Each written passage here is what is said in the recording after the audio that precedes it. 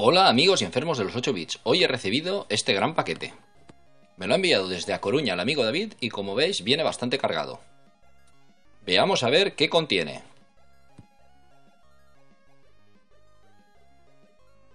Un Sony MSX Hitbit.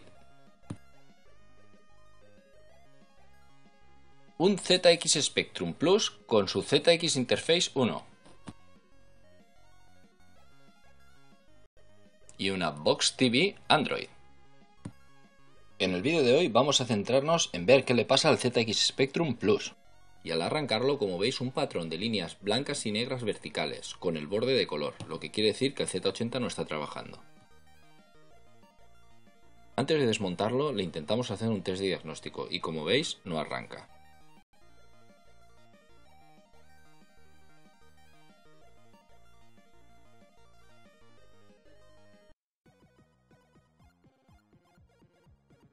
Nada más abrirlo observamos una cinta que tapa unos puentes en la memoria baja.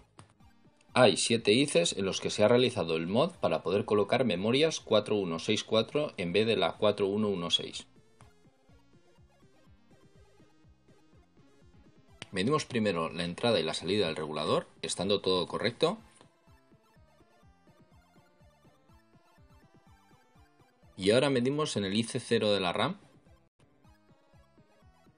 y como veis, tenemos línea de 5 voltios, línea de 12, pero tenemos línea de menos 18 voltios, en donde tenían que haber menos 5 voltios, así que hay algo mal.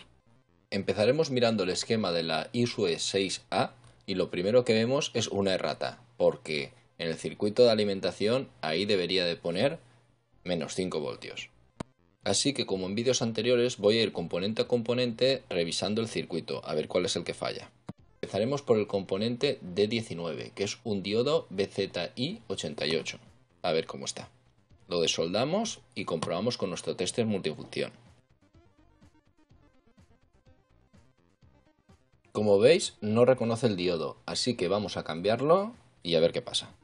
Ya que van en zócalo, quito los módulos de la RAM baja. Y ahora comprobamos tensiones. Y como veis tenemos todas las tensiones bien, incluidas la de la línea de menos 5 voltios. Desueldo el IC0 de la RAM ya que ha recibido menos 18 voltios y lo compruebo. Y, increíblemente, está en buen estado, así que lo vuelvo a colocar. Volvemos a montar la RAM y lo probamos. Y como veis, sigue fallando. Así que decido fiarme el patrón de inicio y cambio el Z80.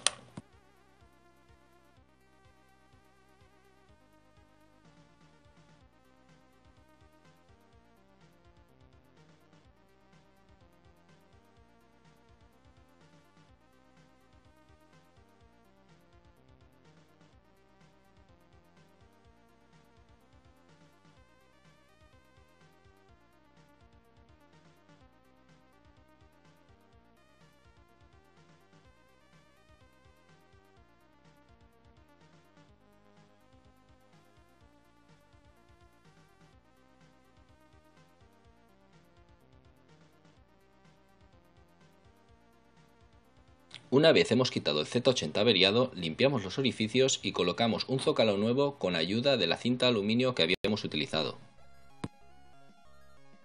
Colocamos un Z80 nuevo y probamos. Y como veis, funcionando.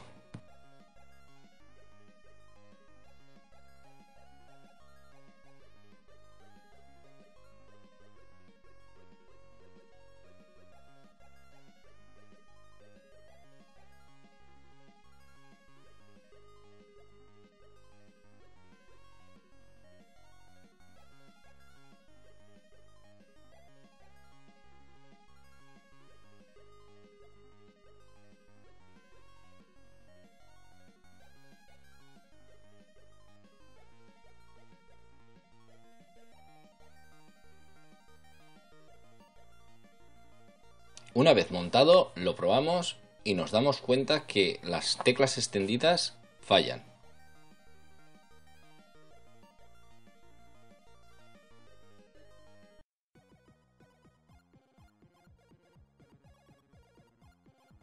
Lo revisamos bien, así que lo desmontamos y vemos a ver qué le pasa. Esta avería es muy común en las membranas de teclado Plus, La membrana del Plus consta de tres láminas. Dos de ellas hacen la misma función que en el 48K el Gomas y una tercera se utiliza para las teclas extendidas. Esta tercera lámina hace contacto utilizando dos presillas que lleva el teclado en la parte superior. Al realizar el cambio de membrana, estos tornillos se pasan de rosca y no hacen la suficiente presión para que la tercera lámina haga contacto. Para solucionarlo debemos de eliminar los pequeños cilindros donde contiene el orificio del tornillo y gracias a la impresión 3D colocamos unas presillas nuevas.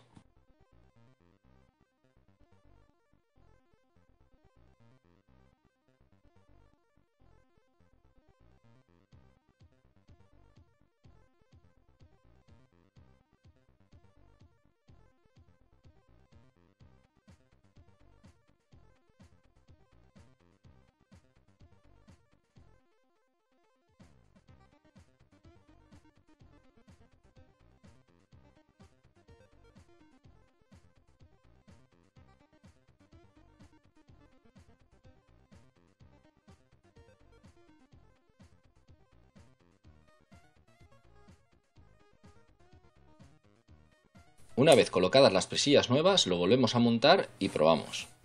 Y como veis ya tenemos 100% funcionando el ordenador de David. Espero os sirva y os haya gustado. Un saludo grupo.